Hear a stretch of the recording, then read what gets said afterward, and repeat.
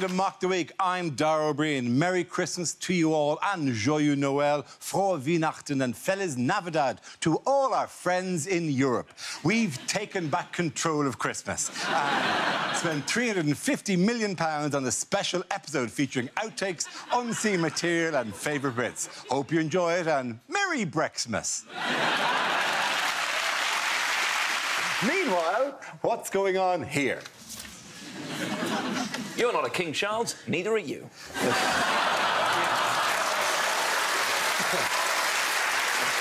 That's, uh, that's Prince Charles saying, What's that, Leslie? the Queen is stuck down a mine shaft. The dog is going, don't do it there, Charles. I haven't brought any bags with me.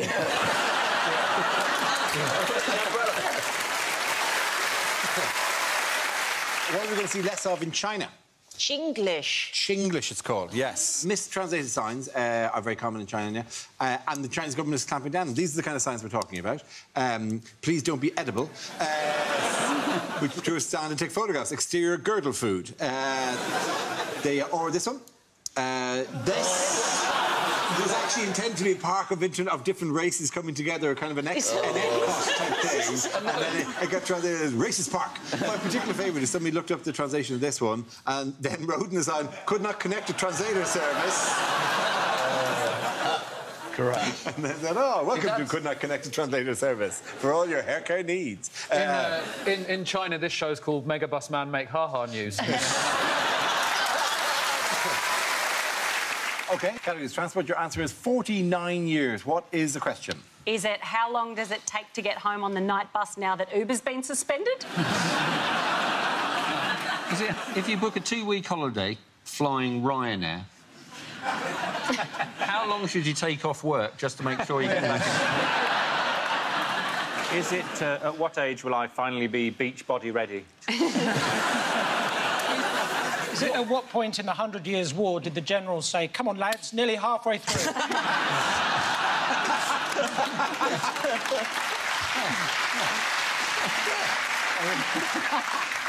They know the actual correct answer. Yes. please. When Yes. will Brexit happen? Is it... What's the world record for staying under a desk that I'm going to break now?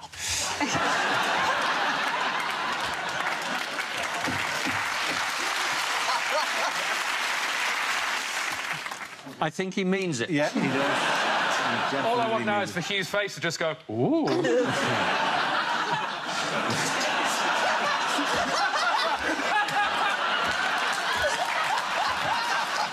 That was a chilling insight to your facial expressions, by the way. it. In, in all seriousness, could you, could, you, could you come back out again? Would that Then I won't get the record, Dara. Uh, you, OK, you won't get the... Re- so, OK. I'll look right. Ridiculous. isn't enough paper, Milton. You will struggle. For continuity, we really need you to come back out again. Let's try, Dara. We just need a Milton whisperer. You said if I wore green, we'd celebrate St Patrick's Day. and everyone would dress the same. Milton, get out from under the goddamn desk.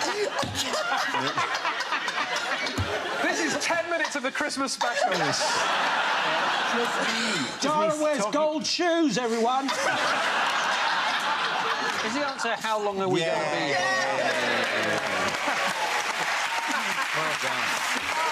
No, it's okay. no, I don't. I actually I quite like. I just like the stately way that the no-nose penguin just, just if you let him go even for a second. Merry Christmas, everybody. This It is may be a- tiny stumps there. This may be a personal question. Yes. Are these your closest friends? These are my special Christmas friends. and there he goes again. He's Yeah. good. Okay, uh, so we do our annual Christmas quiz. What were the first ever Christmas crackers called? Well, they're called rolled up Christmas explosive paper things. Yeah, it's not far off, actually. Christmas bangers. Very close. They were called bangs of expectation. I've had a few of them. We've all, we've all come out of, followed by the cleanup of remorse. the towel wipe off. Oh, it'll do. Uh, Bangs of Expectation. They were launched by a London sweetmaker called Tom Smith in 1860. Tom Smith died because two people pulled him in half. Did you know that? Uh, Jingle Bells was the first song to be played where? At my christening. Wasn't even a Christmas birth, was it? No, it wasn't even Christmas. It was my, my dad's favourite song. What year are we talking about? We're talking about 1965. Oh, is it? Radio 1. December 1965. Jingle Yeah, Bells was was, first written in we played? No, it wasn't. 1965. No, I know, no one said that. No one said that when was Jingle Bells. Jingle Bells was the first song to be played where? In 1965. It happened to happen in 1965, but the where is important. Okay, so Jingle Bells, Okay. written in 1965, played for the first time where? No, no, not the Jingle Bells. Not the- oh my God, the comments. It wa- it's not the first time Jingle Bells was played. Sure. But it was the first song of any kind to be played. Radio somewhere. 1. Not Radio 1. Santa Claus's workshop. No. Radio 1 was 67. Oh, Jesus, it's not Radio 1. It's not. I love it when that vein pops on your forehead. We're trying so hard. What do I do? What- Things I talk about. Things you talk Stars. about. Sky Irish. and the robots. Robot Wars. It was the first song to be played in the first episode of Robot Wars, 1965. BBC Two. Was it the first song ever to be played on a megabus? No. Ireland. No. Was it the no, first no. song to be You played think in we waited Ireland? 1965 in Ireland to sing any songs. Like, Ireland had no songs until 1965 where we sang Jingle Bells. And then it, then it all gushed forth. Then it was all, all those rebel songs we thought about singing, but never felt put a tune to them. Uh, Was it in orbit or something like that? it, it, uh, what was that? In orbit. Absolutely right. Well done. In space. Was, my very first Christmas tree I ever had to buy, it was in a Budgens, and they had them all out on the pavement. So I picked the best one. There's one good one. I got that. Uh, I took it into Budgens and I had to go through all the aisles. And then I was nearly at the till, and someone came up to me and said, "You are not supposed to bring them into Budgens. You've got to leave them out there, and you take the barcode from the top of the tree, and then you take. This is really wrong what you've done." So I took it all the way out again. I got the barcode off, went in, paid for it, came all the way out, and the tree had gone. and I looked back in the Budgens, and I could see the top of my tree just bobbing through the aisles. Sound like Jaws? Yeah, exactly like Jaws, actually. And then I had to follow the pine needles. And I found the guy, and it was a man with his two kids, I'd say about five and seven, you know, the age where Christmas is everything. Yeah. And I was like, Sir, that's my Christmas tree. And then he looked in his trolley and he went, It's not your Christmas tree. Oh, oh, I suppose that's your lasagna, is it? As well, in my trolley. I was like, No. That's not my lasagna. That's my Christmas tree. I already paid for it. He went, oh, oh yeah? I guess you paid for this lasagna as well. I said, sir, the lasagna is neither... I don't know why you're sidetracking us every time. the lasagna is neither here nor there. You're meant to take the barcode off the tree, and then you take it to the till, and then you pay for it there. And he picked up his lasagna, and he looked at the back of it and went, just checking you didn't steal the barcode off my lasagna and then the same member of staff came over and said to him, well, you are supposed to actually take the barcode off. And he's right, he bought the tree and it's not yours. So he handed me the tree. Here's a, here's a tip for you all. If someone is handing you a Christmas tree, don't look their children in the eyes as you're receiving the tree. Because I saw them all sad and I was like, ah, fuck them. And then I. And then I stole his lasagna.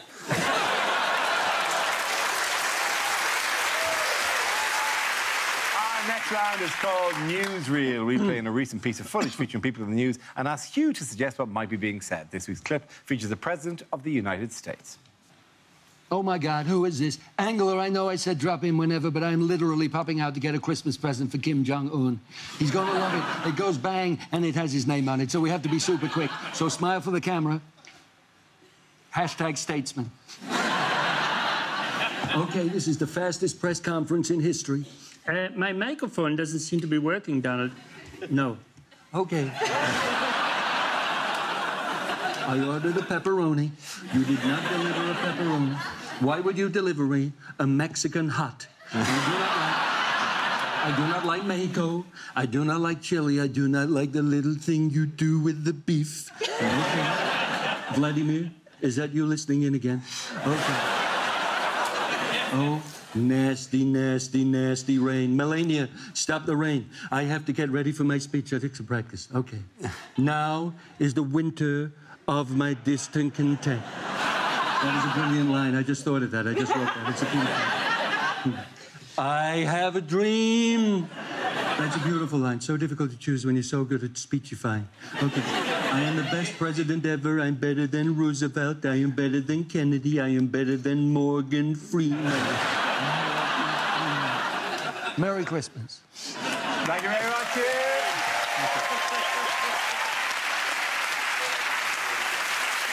What's good news for wine lovers this festive season? It's available in three flavours red, white, and the lame one. Rosé. Yeah. Monster. I don't think much of the rosé in the dentist's, though. I mean, it's a bad time to give it to you as well. Yeah. I don't want to Yeah, drink. yeah, Uh, this is not a time to get me drunk. Uh, look, it's gone everywhere. This is the worst day I've ever been on. The, uh, no, this apparently is what, what, what all homes should be having right now, which is a, an advent calendar of wine. Oh, that is one of the bleakest things I've ever seen in my life. I think that if you say kids, kids, kids, it's the, it's the where's the first? Yeah, oh, kids. Uh, happy Christmas. What what Santa got for you today? Some red. oh my god! Yeah, so try, yeah. So every day you get a, anyone some Merlot? I mean, there are Go alcoholics all across this country going, what? It's a chocolate calendar. And then just hiding that in their lounge room. Yeah, for Oh, me. sorry, Mummy's drunk three days ahead again. Oh, there'd be nothing worse So than re- refilling the tiny bottles the day before. Look how Oh, small the bottles are. I'm going is. to keep Christmas alive. Can't let the magic die. Would you like to taste some of the Oh, wine? hello, oh, there's a tiny sparkly one. Oh. For the ladies. See you later. Aldi, yes, Aldi are doing this. Uh, some Sauvignon Blanc for yourself? yeah, why not? Why not? Because that's For the okay. drive I'll get you home. more. I want to see what the most Christmas one is. Where's the 24th gone? Where's the 24th gone? Is there a, oh, is there there it a is. glue oh, vine? ho, ho, ho. And Have they I'm- got one which is chewing gum so you can get in the car without suspicion? That is a. Oh, clever. Oh, look at What that. they should do is it should have a little breathalyzer on the side. Sorry, is that screw top champagne? Yes, it is. It's gone straight out the bottle. It's really classy. Oh, wow, that is. Really. Oh. Okay, I'm happy to put this down. So, anyway, yes. I imagine Dara's going to be very trigger happy on the buzzer. Come later. Hate it. It's when I start throwing bottles over. Yeah. Here's a scene I'd like to see. Fuck that oh, Who's going to come to the mic next, bitches?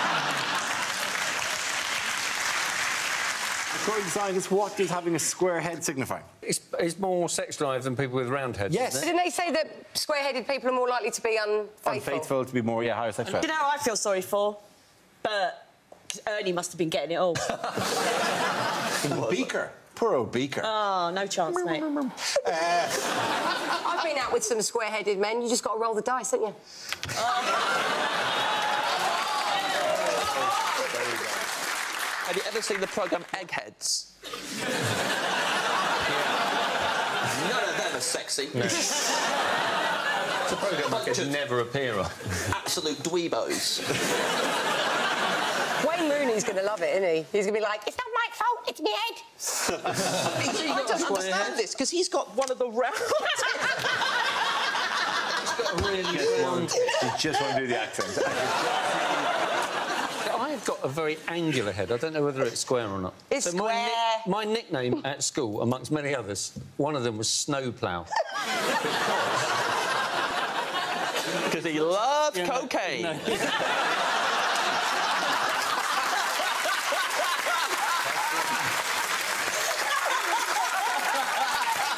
I mean, the rest of the people's liked it, but you, you're, a, you're a machine for the cocaine, right? Here he comes, absolutely coat off his nut again. Yeah. Morning registration. Oh, sorry, sorry. I've got an idea for a film. I've read the script. Uh, maybe you'd like to read it. Uh, this is woodwork class, Dennis. Uh, I've never taken cocaine, and a friend of mine described me as wasting my nose. Because this is an absolute cocaine guzzler. Yeah. I don't know quite how this got onto cocaine. Anyway, what they. Uh, You what know they how it thought- did, Yeah, I know. What they worked out was that because of the shape of my chin and my cheekbones, if you pushed me thr along the playground on a snowy day, the chin would scoop up the snow and it would all funnel in the correct you think they, direction. they worked this out just purely theoretically? They did or did they Yeah. actually- oh, So the, the snow would go up your nose. It's the story you're telling us. These programmes about the news are fantastic. Uh, right, how are presents delivered to children in the Catalonian region of Spain? Is it a saint of some sort? It's not a or- saint, no. Is it a, is a small Catalan man? It's not. Uh, this is Caga Tió. He is a Christmas log, literally a Christmas log. What, he brings Uh, the presents? Oh, yeah. And when he brings presents, what they do is they sit him down. It's going to be difficult to demonstrate this. And the Catalan children uh, tap him.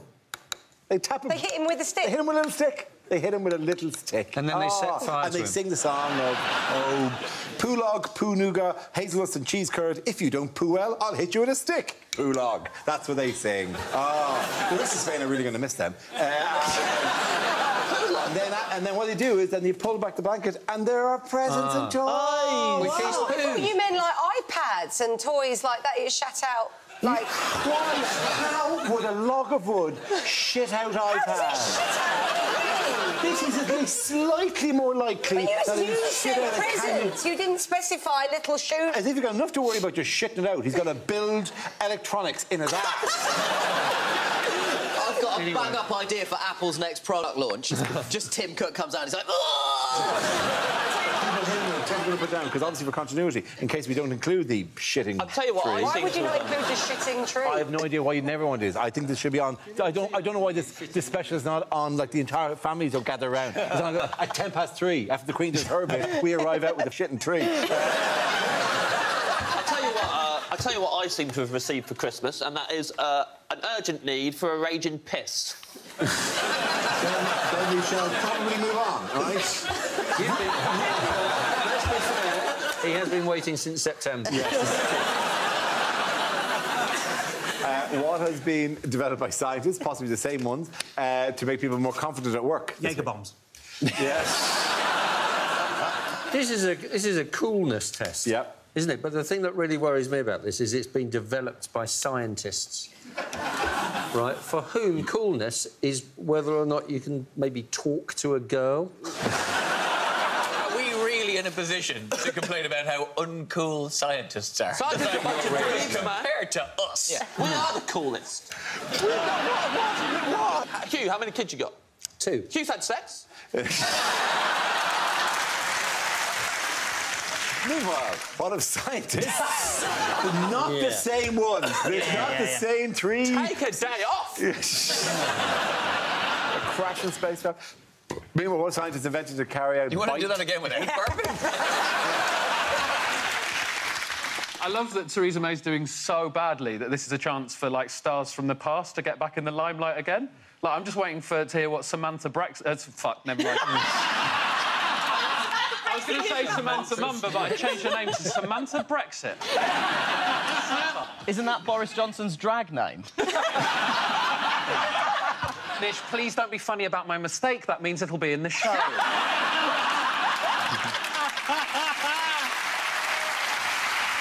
Okay, the first subject is unlikely things to hear on a history documentary.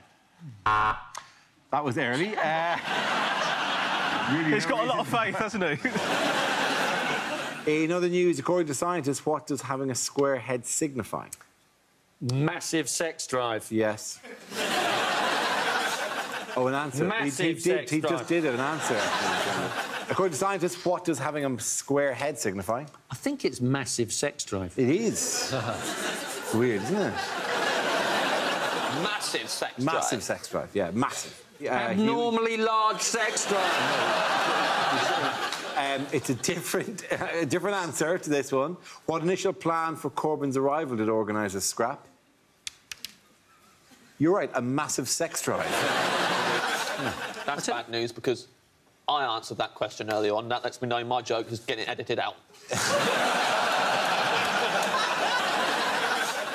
Oh, sorry, can you sit up as if you haven't just done the, the show and you're in the... Yeah.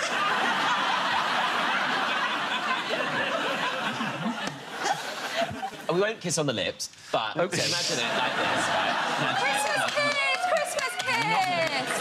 Just, warm, just warming up a little. So, hi, Q.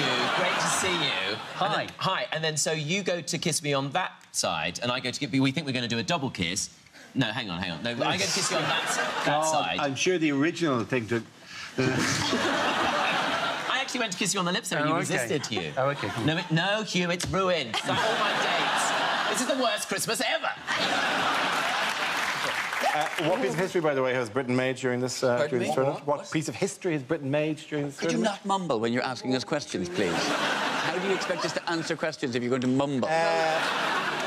What piece of history did Britain make during this tournament? piece of history. History. What an odd way we of made- It phrasing is unusual, isn't it? But that's the way we talk. What piece of history What did Britain piece of make? history? Yes. History. Yes, Ed. We made Do you mean in what way did Britain make history? Is that perhaps Yeah, the phrase not you're looking really, because it doesn't really. In fact, it isn't. It, honestly, it's got how how well have domestic players performed at this tournament? Oh, my Very. God. Well, So- they've made history. They've made history. Now, ladies, you know what time it is. Time to pour yourself a glass of wine, light some candles, because next up it's Dara Ó Briain's Go 8 Bit.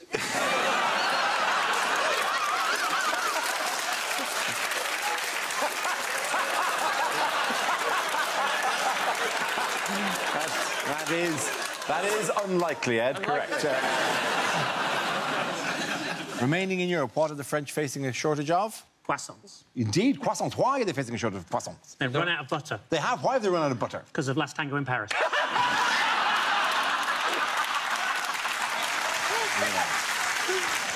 Okay, then I shall ask the most obvious question to end in. How can a Scandinavian child win a marzipan pig at Christmas? By killing someone and it being turned into a Scandi noir detective drama. No, no, that's not how they win it. Uh, you're in some pain and discomfort now at this stage, I'd imagine, so this is I'm not going to currently help. They piss imagining it, uh, they just, just like pissing presents out my dick.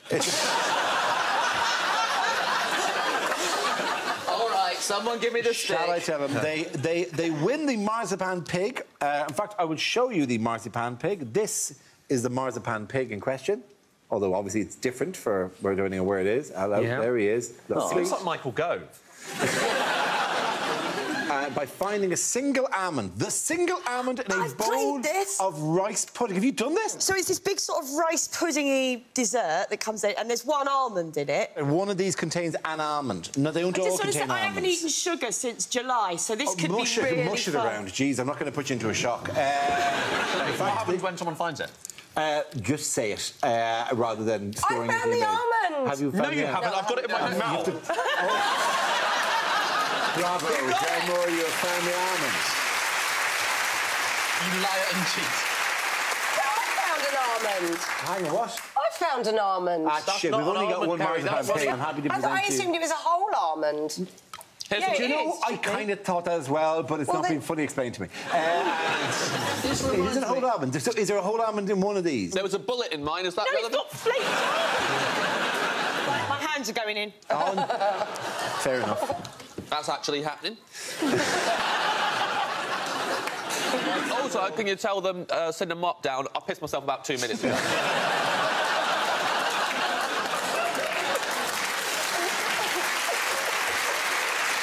Bravo, Glenn. Glenn, you, really you have found the almond and stop feeling your food. Uh, you found the almond, therefore, by all the great Norwegian traditions, we present you with this marzipan pig. Glenn Moore, thank you very much. Well done. We honorarily makes you winners of this year's Christmas.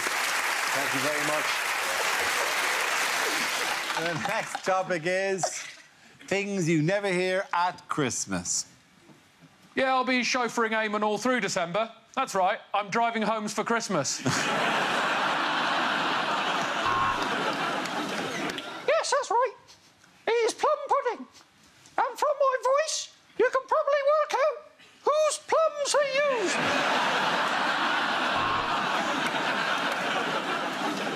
Happy Christmas, you bunch of Muppets! Danny Dyer stars in a Muppets Christmas Carol. Well, it's soaked in brandy. Let's get it lit and we can pretend she fell asleep watching telly.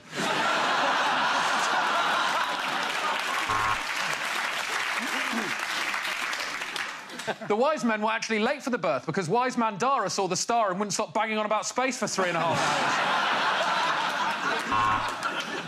I think it's best for everyone this Christmas if we take Chris Rea's car keys away. No, Grandad, I'm absolutely fascinated to listen to you talking about the Islamic faith. You're so alive to its subtleties and nuances. My goodness, that's an enormous pile under the tree. When did you have it removed, Grandad?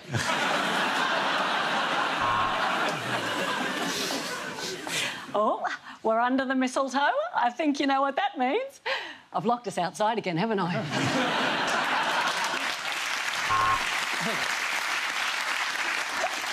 I know. I love it when your parents come for Christmas. I just wish we couldn't hear them through the ceiling.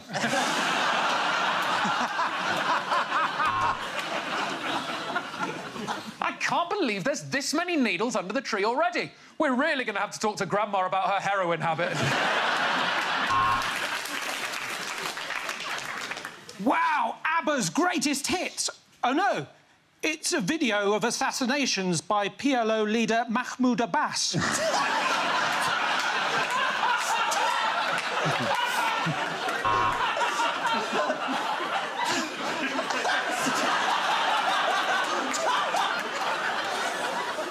OK, Sharon's then. Right, OK. Two words. OK, yeah, you're going to do the whole thing. OK, that... Right, it's the human centipede. Grandma, stop! you there, boy! Tell me, what day is it? Why, sir, it's the first day of the DFS sofa sale.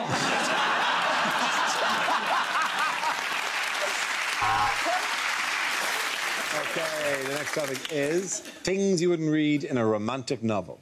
He pressed his lips to hers and slid his tongue in. That's not how you're supposed to do it, shouted the other paramedic.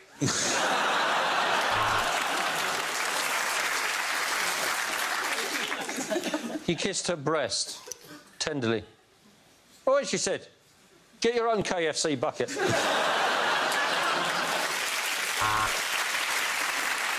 Mr. Darcy is the most eligible bachelor in the county, said Mrs. Bennet, and he's hung like a fucking cart.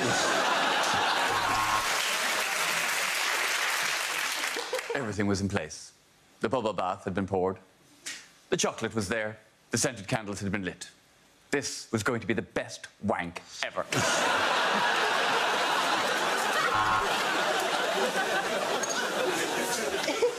He put the chocolates down beside her. Silence. And then at last she spoke. Unexpected item in the bagging area. Ah. She had never had a menage a trois before, let alone with two famous brothers. They drove her wild all night with their cries of, to me, to you, to me, to you, to me.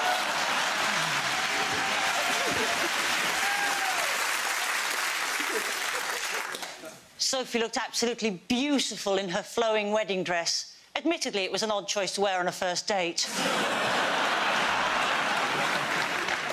Oh, Mr. Darcy, you're so becoming. Really? He replied. Because I think it's you that will be coming.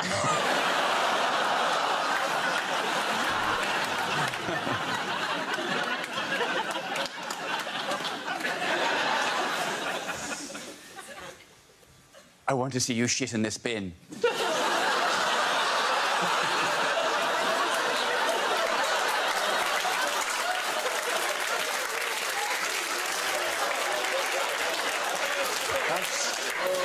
Does fulfil the criteria. I, think, I think that's one for the Christmas special, I isn't think it? it is. I think it's a, a, it's a festive one there, Ed. She said, Happy Christmas at the end.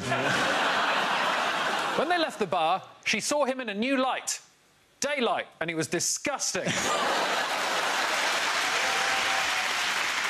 Ladies and gentlemen, good night, goodbye, Merry Christmas, all from us, Mock the Week. Have a wonderful Christmas. Goodbye, have a lovely time. Goodbye. Merry Christmas, everybody. Merry Christmas. As the Happy Penguin falls. Oh, for almond. You found the